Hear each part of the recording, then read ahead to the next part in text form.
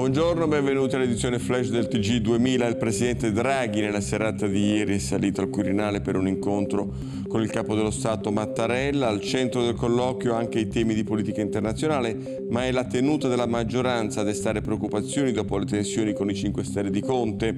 Ieri infatti c'è stato lo schiaffo del Movimento 5 Stelle al governo quando i pentastellati non hanno partecipato al voto sul decreto aiuti alla Camera. Il testo, malgrado questo, è passato con 266 sì e 47 no.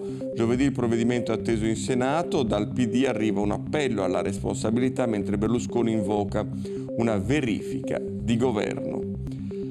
La Russia riduce di un terzo le forniture di gas all'Italia rispetto alla media degli ultimi giorni. Alla luce di questo il governo mantiene lo stato di pre-allerta e monitora i flussi. Ad oggi non servono misure emergenziali. Il piano di diversificazione delle forniture di gas e di raggiungimento dell'indipendenza energetica dalla Russia prosegue secondo quanto già annunciato. Continua a salire il bilancio delle vittime del bombardamento russo su Kassiv nel Donbass. Secondo il governo ucraino sono 33 le vittime, tra cui un bambino di 9 anni. I soccorritori hanno continuato a lavorare tra le macerie alla ricerca di sopravvissuti, ma le speranze di trovare qualcuno ancora in vita sono poche. Altra emergenza è quella alimentare, con la carenza di materie prime negli ultimi mesi. Da ieri sembra che si sia trovata una soluzione al blocco del grano prodotto da Kiev perché le prime otto navi straniere sono arrivate ieri nei porti dell'Ucraina per esportare prodotti agricoli. Le tensioni internazionali, Washington accusa Teheran di essere pronta a fornire e ad addestrare le forze russe a utilizzare i droni, inclusi alcuni armati, un progetto iniziato nel mese di luglio, secondo il consigliere alla sicurezza nazionale della Casa Bianca, Jake Sullivan.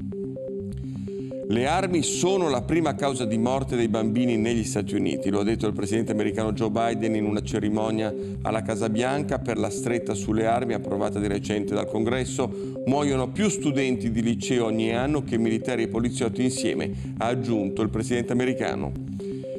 Il Giappone in lutto, oggi a Tokyo si sta svolgendo il servizio funebre per il defunto ex primo ministro giapponese Shinzo Abe, il funerale privato limitato solo alla famiglia dell'ex leader, ai parenti stretti e ai dignitari stranieri, ma centinaia di persone hanno deciso di accompagnare e rendere omaggio al primo ministro assassinato venerdì scorso. Al via la quarta dose di vaccino anti-Covid per over 60 e fragili. Il ministro Speranza ha annunciato la decisione dell'Italia di adeguare le sue linee guida dopo il parere dell'EMA, via libera anche dell'AIFA, il tasso di positività intanto scende al 20%, salgono invece i ricoveri, 127 i decessi. Questa mattina il Presidente Draghi incontrerà a Palazzo Chigi i sindacati, molti temi sul tavolo, dal caro vita che riduce il potere d'acquisto delle famiglie al salario minimo e al taglio del cuneo fiscale. Attenzione però anche alla rivalutazione delle pensioni.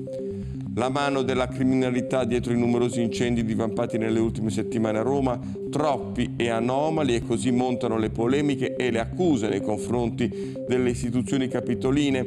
La Procura indaga sul dolo e sulla ridotta manutenzione delle, del verde, preoccupa poi la qualità dell'aria, alti i livelli di diossina nella zona dei grandi roghi nell'est della capitale prime sei condanne per l'assalto alla CGL avvenuto nell'ottobre dello scorso anno a Roma a margine di una manifestazione contro il Green Pass. Il GUP, al termine di un processo svolto con rito abbreviato, ha inflitto condanne tra sei anni e quattro anni e mezzo. In particolare sei anni sono stati eh, dati a Fabio Corradetti, figlio della compagna del leader di Forza Nuova Giuliano Castellino, e a Massimiliano Ursino, leader palermitano di Forza Nuova.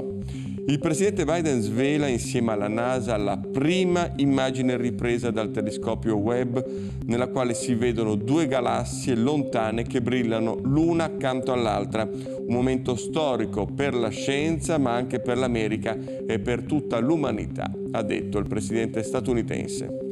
Monty Norman, compositore e paroliere britannico, le cui opere includono il celebre tema della saga di James Bond, commissionato per il film Agente 007 Licenza di uccidere, era il 1962, è morto all'età di 94 anni dopo una breve malattia. È tutto, l'informazione torna come sempre alle ore 12. Buona giornata.